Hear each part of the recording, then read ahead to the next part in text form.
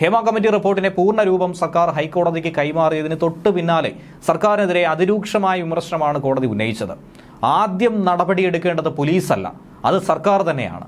കുറ്റകൃത്യം സംബന്ധിച്ച കാര്യങ്ങൾ കേട്ടിട്ട് എങ്ങനെയാണ് ഇത്രയും കാലം അനങ്ങാതിരിക്കാൻ സാധിക്കുന്നത് എന്നാണ് കോടതി ചോദിച്ചിരിക്കുന്നത്. അടയിട്ട് വിരിയിക്കുന്നത് പോലെ ആയിരുന്നു ഇത്രയും കാലം ഈ റിപ്പോർട്ട് മൂന്ന് മൂന്നര കൊല്ലം പൂഴ്ത്തിവെച്ചിട്ടുണ്ടായിരുന്നത് എന്തിനു വേണ്ടിയിട്ടാണ്? എന്ത് സ്വാർത്ഥലാഭത്തിന്റെ അടിസ്ഥാനത്തിലാണ്? ആരെ സഹായിക്കാൻ വേണ്ടിയിട്ടാണ്? ഇതിനുള്ള മറുപടി ഉറപ്പായും സർക്കാർ തന്നെയാണ് സർക്കാർ സംവിധാനങ്ങൾ തന്നെയാണ് പറയേണ്ടത്.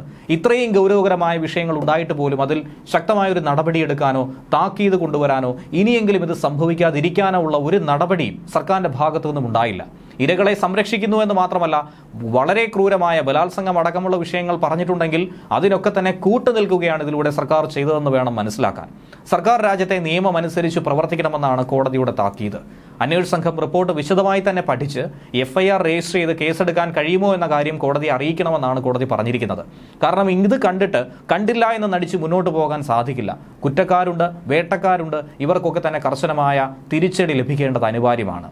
ഇനി സർക്കാർ ഇടപെട്ട മറ്റൊരു വിഷയമാകട്ടെ മാധ്യമങ്ങൾ ഈ വിഷയങ്ങൾ വാർത്തയാക്കുന്നു. അതുകൊണ്ട് മാധ്യമങ്ങളെ തടയിടണമെന്നുള്ള കാര്യം തന്നെയാണ്. എന്നാൽ ഈ ആവശ്യം കോടതി അംഗീകരിച്ചിട്ടില്ല എന്നുള്ളതാണ് യാഥാർത്ഥ്യം. ഒരുപക്ഷെ മാധ്യമങ്ങൾക്ക് മുന്നിലേക്ക് ഇത് എത്തിയില്ല എങ്കിൽ ഒരു കാലത്തും ഇത് പുറലോകം കാണില്ല എന്നുള്ള ഒരു യാഥാർത്ഥ്യം കൂടി നാം മറക്കരുത്.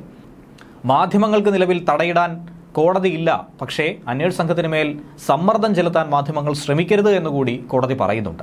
സ്ത്രീകൾ മൈനോറിറ്റി ആണെന്നുള്ള ഒരു വാദം അംഗീകരിക്കുന്നില്ല. കാരണം സ്ത്രീകൾ മെജോറിറ്റിയാണ്. സ്ത്രീകൾക്കെതിരായിട്ടുള്ള അതിക്രമങ്ങൾ ഉണ്ടായാൽ ക്രിമിനൽ നടപടി പ്രകാരം കേസെടുത്ത് മുന്നോട്ട് പോകണം. പക്ഷേ ഇവിടെ സർക്കാർ സംവിധാനം ചെയ്തിരിക്കുന്നത് എന്താണ് എന്നുള്ള കാര്യത്തിൽ കോടതി പോലും അന്താളിച്ചിരിക്കുകയാണ്. ഈ റിപ്പോർട്ടിന്മേൽ ഒരു നടപടിയും സ്വീകരിക്കാതെ ഇത് അതുപോലെ തന്നെ പൂഴ്ത്തിവെച്ച് കേവലം ഒരു അന്വേഷണ സംഘത്തെ രൂപീകരിച്ച് മുന്നോട്ട് പോയി അവർക്ക് മുന്നിലെത്തുന്ന പരാതി മാത്രം പരിശോധിക്കാമെന്ന ഒരു നിലപാടിലേക്ക് അധപതിക്കുകയാണ് സർക്കാർ ചെയ്തത്. അന്വേഷണ സംഘത്തിന് മുന്നിൽ വന്ന കേസുകൾ മാത്രമേ ഇതുവരെയും രജിസ്റ്റർ ചെയ്തിട്ടുള്ളൂ. അതായത് നേരിട്ട് ചെന്ന് പരാതി സമർപ്പിച്ചിട്ടുള്ള കേസുകൾ. പകരം ഹേമ കമ്മിറ്റി റിപ്പോർട്ടിന്മേൽ എന്ത് ചെയ്യാൻ കഴിയുമെന്ന കാര്യം വിശദമായി തന്നെ പഠിച്ച് അറിയിക്കണമെന്ന് ഇപ്പോൾ അന്വേഷണ സംഘത്തിന് തന്നെ കോടതി നിർദ്ദേശം നൽകിയിട്ടുണ്ട്. അന്വേഷണ സംഘം വാർത്താ സമ്മേളനങ്ങൾ വിളിച്ചു കൂട്ടരുത്. റിപ്പോർട്ടിന്റെ കാര്യങ്ങൾ പരസ്യപ്പെടുത്താൻ പാടില്ല. ആ രഹസ്യ സ്വഭാവം അതുപോലെ തന്നെ സൂക്ഷിച്ച് എന്നാൽ ക്രിയാത്മകമായ രീതിയിലുള്ള അന്വേഷണം നടത്തണമെന്നാണ് കോടതിയും ചൂണ്ടിക്കാണിച്ചിരിക്കുന്നത്.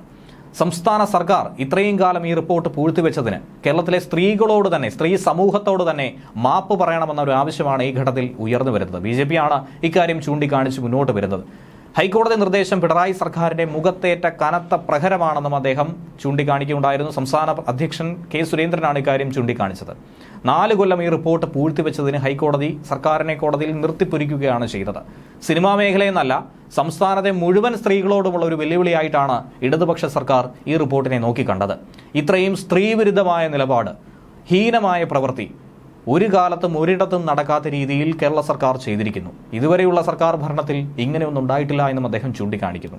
Hema committee report S I tick വിടാനുള്ള കോടതിയുടെ തീരുമാനം സർക്കാരിന് സംഭവിച്ച ഒരു വലിയ തിരിച്ചടിയായി തന്നെയാണ് നോക്കി കാണേണ്ടത്.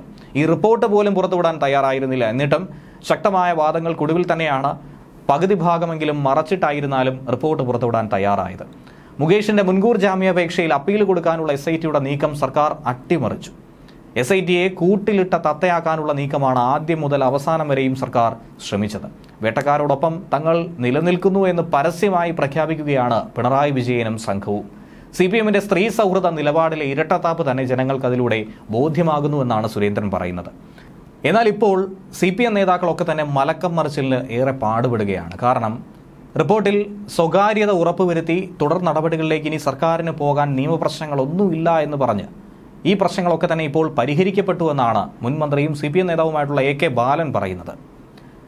ഈ വ്യക്തത കോടതിയിൽ നിന്ന് കിട്ടിയതിന്റെ അടിസ്ഥാനത്തിൽ റിപ്പോർട്ടുമായി ബന്ധപ്പെട്ട തുടർ നടപടികൾ സർക്കാർ തീരുമാനിക്കുമെന്നും അദ്ദേഹം തന്നെ പറയുന്നുണ്ട്.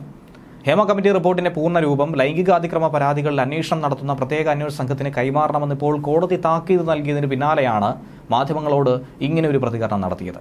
പ്രത്യേക അന്വേഷണ സംഘത്തിന് മുന്നിൽ വന്ന എല്ലാ പരാതികളും പരിശോധിച്ച് എഫ്ഐആർ ഇട്ടുകൊണ്ടിരിക്കുകയാണ്.